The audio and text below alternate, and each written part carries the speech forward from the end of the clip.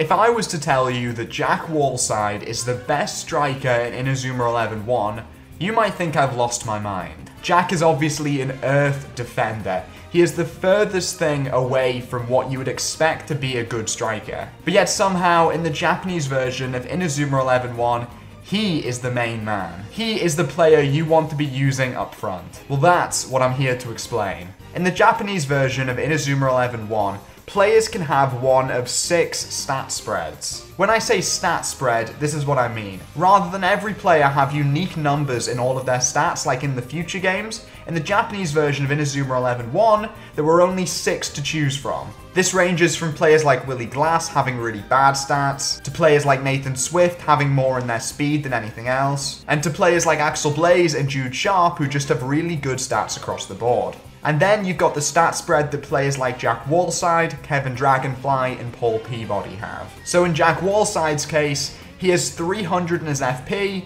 225 in his TP, 99 in his kick, 99 in his body, 69 in control, 79 in guard, 69 in speed, 99 in stamina, 79 in guts, and 34 in freedom. So immediately, for some reason, Jack Wallside has been given the stat spread that gives him the highest kick in the game. But then, to get the most out of him, you've got to give him the Hissatsu, the Galaxy. This is a shot in Inazuma 11-1 which can be obtained via Wi-Fi download. It is the strongest shot in the game, so as you can imagine, giving the strongest shot in the game to a player with a kickstart of 99 basically means they are unstoppable. But what makes Jack Wallside in particular so good?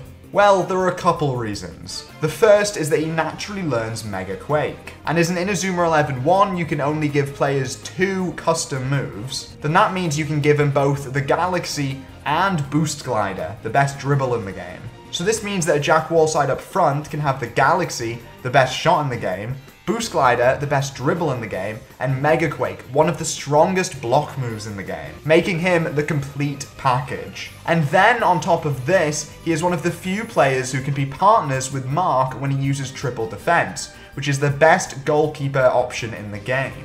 This makes him even more valuable of a player as it opens up another slot on your team for a player who doesn't have to partner with Mark. In the Japanese version of Inazuma 11-1's meta, the best thing to do is put a striker up front with 99 kick, give them Boost Glider and the Galaxy. And Jack Wallside is without a doubt the best player to do this for. This isn't the same in the European version of the game, where although gameplay remains the same, everyone has their own stats. And scouts and special moves from Inazuma 11-2 can be traded over to Inazuma 11-1. This makes the list of really good special moves much bigger, for instance, goalkeepers don't just have to be marked with triple defense, it can also be other keepers with Beast Fang and Infinite Wall. Defenders can have Mad Express, Hurricane Arrows, Sigma Zone, and Bamboo Pattern. In terms of dribble moves, you can use Heaven's Time, Dual Pass, and Triple Dash. And then strikers aren't just limited to the Galaxy, they can also use Neo Galaxy, Crossfire, Dark Phoenix, and Reflect Buster. Inazuma 11's one meta, no matter the version, is pretty bare bones. But I do find it hilarious that in the Japanese version of the game, it's a defender who makes for the best striker. Jack Wallside truly is the king. Thank you so much for watching today's video. I hope you learned something. Make sure you like, comment, subscribe, all of that classic YouTube stuff. And thank you so much to Zikri AK for providing the information for today's video. I'll see you guys in the next one. Bye.